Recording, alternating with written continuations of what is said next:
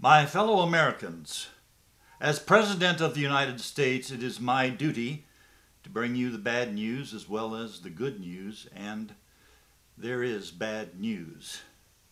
It has been brought to my attention that the world, or as we like to say here in Washington, D.C., Mother Earth, the world did not come to an end on May 21st of 2011 as far as we have been able to determine at this time. Now we had our budget figured out right up to 11:59 p.m. on May 21st. We came that close. We almost made it, but the world did not come to an end. And we are in deep doo-doo. But I would like to ask the Vice President to step up on the desk and say a few words. Here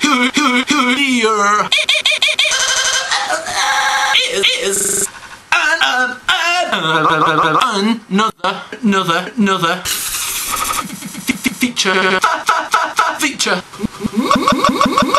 ban, ban, ban, ban, video, video, video, video. Hey, can I borrow 20 bucks? I'm a little short. When I was a kid, I asked my dad, how come he never take me to the zoo? He said, if they want you, they'll come get you. They have a new restaurant in town. There's something wrong with the food there. Corn dog's not supposed to glow in the dark. There's something wrong with the food there. Spaghetti is not supposed to crawl off the plate.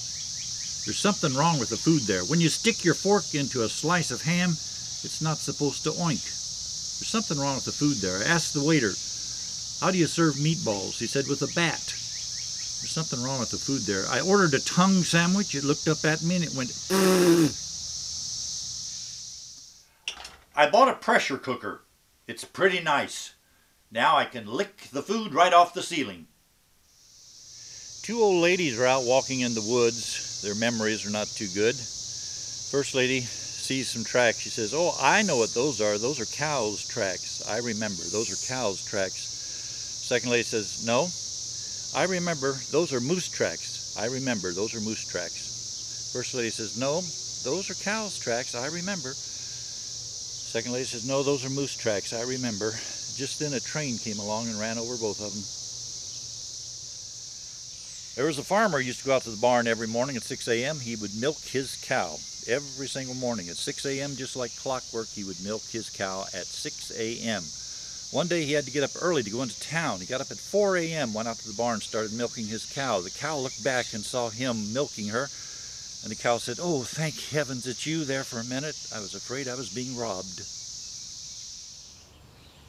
I sneezed a sneeze into the air. It came to earth, I know not where. But hard and cold were the looks of those in whose vicinity I snows.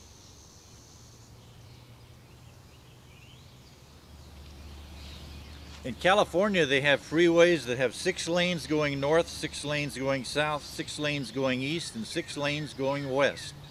You haven't lived until you've seen a 24 car head-on collision.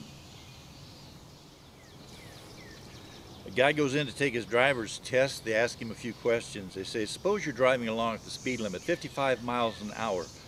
Straight ahead, you see a narrow bridge. There's no possible way you can get off the highway. And there comes a semi truck right straight at you, 100 miles an hour. You can't get out of the way. What's the first thing you do? Man says, well, I'll lean over across the seat and I'll wake up my wife. Guy says, you wake up your wife? Why is that? He says, well, she's never seen an accident like this before. Lady's in the hospital. She's about to get an operation. The husband comes to visit her. The lady says, now, this operation's serious. I, I might not make it. And just in case I don't pull through, what I want you to do is find yourself a nice girlfriend. You can give her all my jewelry and my fur coat. The guy says, no, that, that won't work. And the lady says, well, why is that? He says, because you're a size 16, she's a size 10. So I was going with this girl for a couple of years, then the nagging starts. She says, I want to know your name. I know a guy who lost his wife in a wishing well. He didn't know they worked. If honesty is the best policy, then dishonesty is the second best.